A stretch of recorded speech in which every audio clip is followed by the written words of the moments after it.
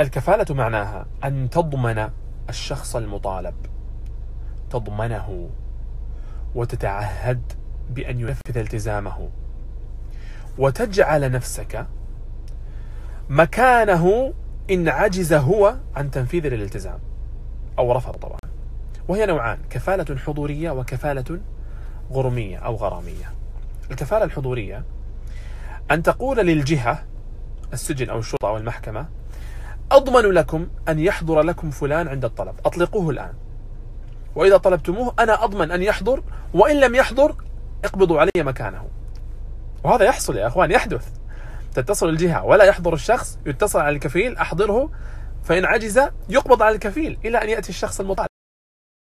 الكفالة الغرمية أن تقول لطالب المال أنا أضمن لك أن يسدد لك فلان المال. فإن لم يسدد المال سواء عجزا أو حتى رفضا يعني ممكن يكون عنده فلوس ولكن ماني ماني مسدد.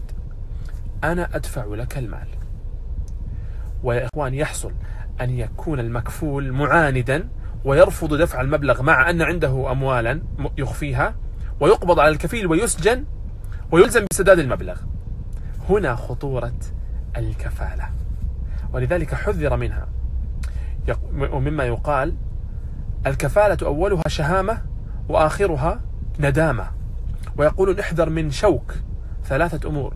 شراكة وكالة كفالة. شوك. وأنا وجهة نظري أيها الأخوات والإخوة أن الكفالة من عمل الخير والإحسان إلى الناس. ولكن لا بد للقيام بها أن تكون قادرا. قادرا على التحكم بالمكفول. إحضاره إن كانت كفالة حضورية أو إلزامه بالسداد إن كانت كفالة غرمية. أو تكون مستعدا بتنفيذ هذا الالتزام بدلا منه. أن تكون مستعدا للقبض عليك في حال عجزك عن إحضاره أو مستعدا بالسداد بدلا منه إن كان رافضا أو عاجزا. فيما سوى هذين الأمرين احذر من أن تكفل أحدا. مهما أقسم لك أنه سيسدد أو سيحضر إلا أن يكون محل ثقة عمياء منك. لأنك بذلك تلقي بنفسك إلى التهلكة. ما تدري هو الآن مضطر. يقسم لك يقول لك هو إجراء شكلي مجرد شيء روتيني حتى أخرج من السجن مجرد شيء روتيني حتى على تمويل من البنك العقاري على تسهيلات بنكية لمجرد رفع إيقاف الخدمات لدى قاضي التنفيذ. إجراء شكلي لن يضرك شيئا.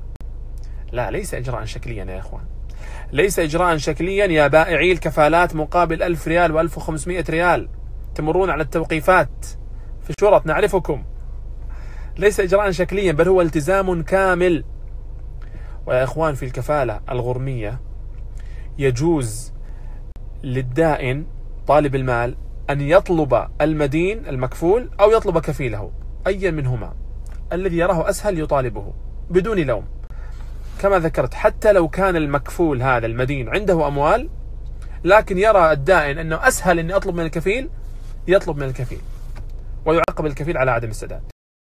وأخيرا تحذير خاص من الكفالة الحضورية للإخوة غير السعوديين. هذه ليست عنصرية يا إخوان. غير السعوديين إخواننا وأحبابنا وأقاربنا وأصدقاؤنا. ولكن عند الكفالة الحضورية إذا لم يكن هذا الشخص غير السعودي محل ثقة عمياء منك فاحذر كل الحذر من كفالته لأن هذا أشد من السعودي. السعودي موجود في البلد أين سيذهب؟ غير السعودي له أهل وأقارب في الخارج وبلد أخرى. قد وهذا حصل يعني أمام عيني يا إخوان. يهرب الشخص تهريبا من الحدود يترك جوازه وإقامته ولا أي شيء. المهم أن ينجو بنفسه وتقعد فيها أنت أيها الكفيل. فاحذروا أيها الأخوات والإخوة وكونوا بخير. مساءكم سعيد. نعم يا أخوان الكفيل إذا سدد عن مكفوله يحق له الرجوع عليه بالمطالبة ويحكم له.